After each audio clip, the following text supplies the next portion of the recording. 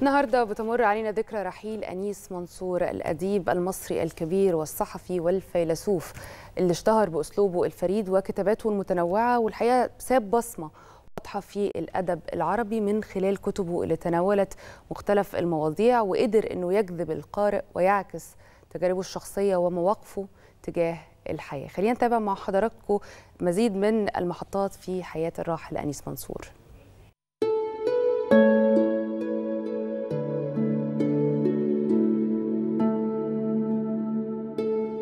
النهارده بتمر علينا ذكرى رحيل الكاتب الكبير أنيس منصور واللي أثرى الساحة الثقافية بأعماله الأدبية المميزة وكمان أعماله السينمائية والدرامية اللي لسه محفورة في الذاكرة.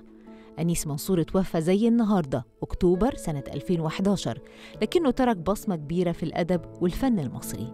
ولد أنيس منصور في محافظة الدقهلية يوم 18 أغسطس سنة 1924 وبدأ مشواره العلمي بحفظ القرآن في كتاب القرية وهو صغير. وده كان ليه أثر كبير على تكوين شخصيته وتميز بأنه كان ملم بعدد كبير من اللغات زي الإنجليزية والإيطالية والفرنسية والروسية والألمانية وده فتح له باب واسع للاطلاع على ثقافات متنوعة انعكست في كتاباته. من أشهر أعماله الدرامية اللي حققت نجاح كبير مين اللي ما يحبش فاطمة؟ غاضبون وغاضبات والماضي يعود. ده بجانب أعماله المسرحية اللي وصل عددها لأكثر من 13 مسرحية. اتعرض منهم كتير على المسرح القومي. أيضا أنيس منصور كان واحد من أهم كتاب أدب الرحلات في مصر وألف كتب مشهورة زي حول العالم في 200 يوم. وأعجب الرحلات في التاريخ.